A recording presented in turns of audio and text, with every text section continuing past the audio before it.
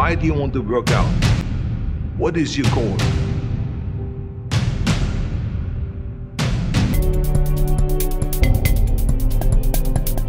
The most important thing is that you have a vision, that you have a goal. Because without that vision and without that goal, again, you're drifting around and you're never going to end up anywhere.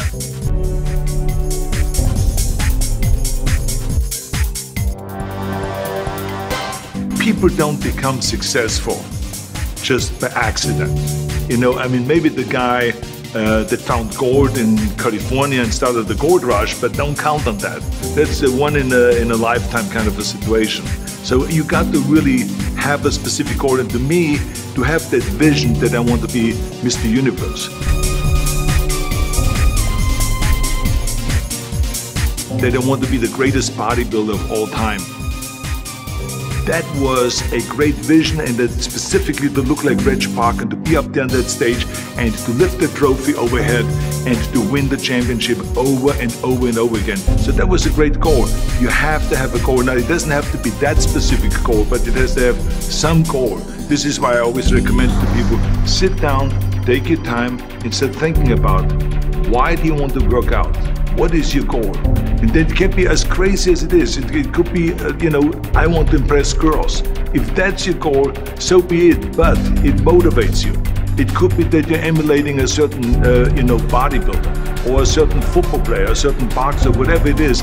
Have those pictures put all over the wall like I did when I was a kid.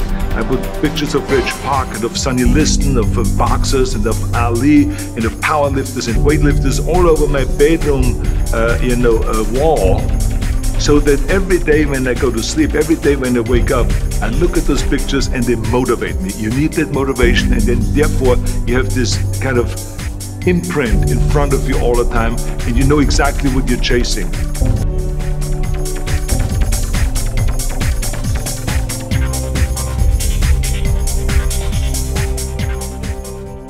People always come up to me and says, why are you smiling? You're working out five hours a day. You're doing the same as the other guys, but the other guys have a sour face. They're pissed off that they have to do another rep or another set or something. I looked forward to. I looked forward to another thousand set, uh, reps of, of sit-ups. I looked forward to another 500 pounds of, of, of uh, leg press or squat. I looked forward to doing more and more curls until my arms fall off. Why? Because I knew that every rep that I did and every set that I did and more weights that I lifted, I get one step closer to turning that vision into reality.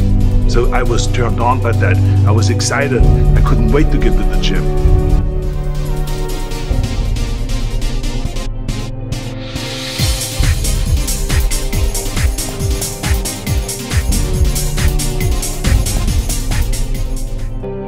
Remember that when I weighed 245 pounds, and Bob Rafelson, the director of Stay Hungry, said to me that I'm interested in having you come in for reading and work on your acting and all this because I'm interested in having you in a movie to star with uh, Jeff Bridges and with Sally Fields.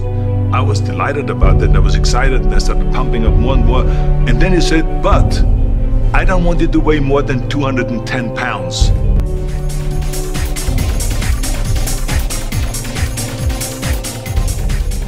You want me to be in the movie, but I'm weighing 245 to 46.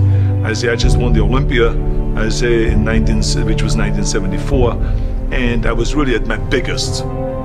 And uh, but he demanded that, and he says, look, it's very simple.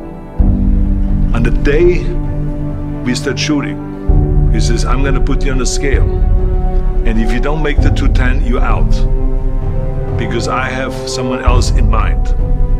And I worked on it. I started visualizing myself very clearly as a lean athlete. Because that's the only way I could lose that weight and all of a sudden get interested in running more. Because up until that point, I ran like three miles after training or before training or whatever. But now all of a sudden it was five miles, six miles, seven miles, eight miles. And they even ran mini marathons in order to lose the weight. And I did everything with high reps. And I was watching my diet, what I eat, and all those kind of things. And but a day, the day before, I remember we went Birmingham, Alabama. The day before I was at the YMCA with Bob Rafelson. He was swimming and I was working out and I was running. There was a track there and I was running. He says, let's step on the scale. And I stepped on the scale and I weighed 209. So it just shows you what is possible if you visualize exactly what you want to look like.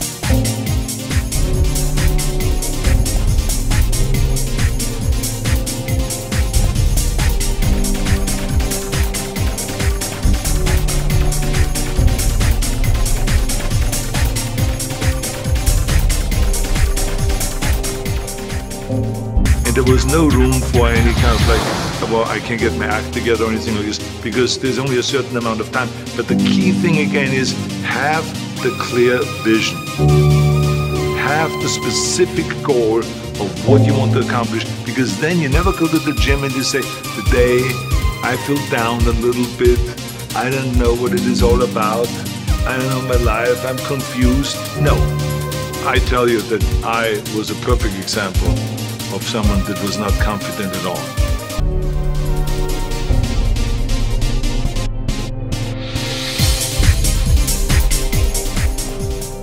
I mean, when I was a kid, I was just like any other kid. I had my hang-ups and problems and all this.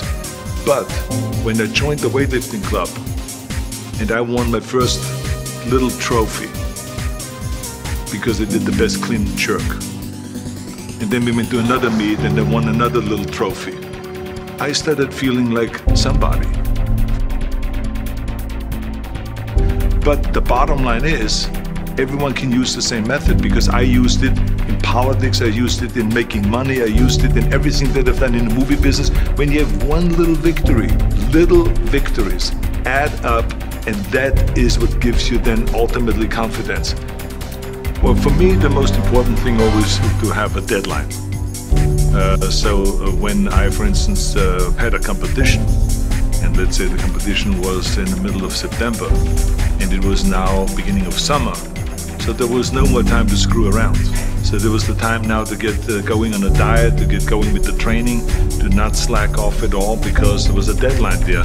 The day of the competition, I had to be in the best shape possible. And I knew that uh, if I come to the competition and I lose because I did not schedule my training the proper way, or I didn't have the right frame of mind, or I didn't give everything, literally worked my butt off, I would be just so angry.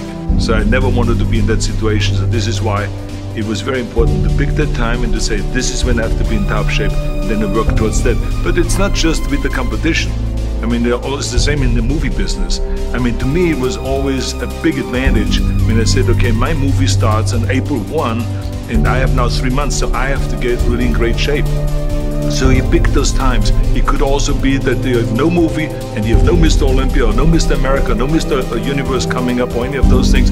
But you say to yourself, the summer starts in June. I'm gonna go to the beach in June, and at that time, I want to be in great shape. So that creates an urgency that makes you really start training hard and taking it seriously. Because if you don't have a specific plan, then you wander around. I mean, you can have, as I've told you many times, the best ship or the best plane in the world, but if you don't have a specific goal where you want to go and when you want to get there, you just drift around and you never get anywhere. So this is why it is so important to create that urgency and have a specific time when you want to be in shape. Well, I mean, look, everyone has a problem with time, but the day is 24 hours and we sleep six. I know there's some out there that say, whoa, whoa, whoa, whoa, I need eight. Well, I say just sleep a little faster. Because the bottom line is we have six hours of sleep, 24 hours are available, so you have 18 hours now available to your work, your family, your hobbies, and also to learn something new or to do something new, which could easily be that you want to learn a new language, or that you want to read as a, you know, New Year's resolution, I have to read a book every week, or, or you say, I'm gonna go and reshape my body. So you're gonna go and take this hour out of your schedule and say, I'm gonna train an hour every day. So this is for most people a, hu a huge challenge, but it is totally doable, I can tell them, because the kind of things that I did when I came to this country, I mean, I went to school, I was working in construction, I was working out my five hours a day. I was taking acting classes from 8 o'clock at night to 12 midnight. I was doing all of those things. I wanted to make sure that out of the 24 hours of the day, that I don't waste one single hour. those hours were too precious. And so there I just want to tell people, don't give me this thing, I have a difficult time with the time and I don't have time for this and I don't have that. You have time. You make the time. When can you start?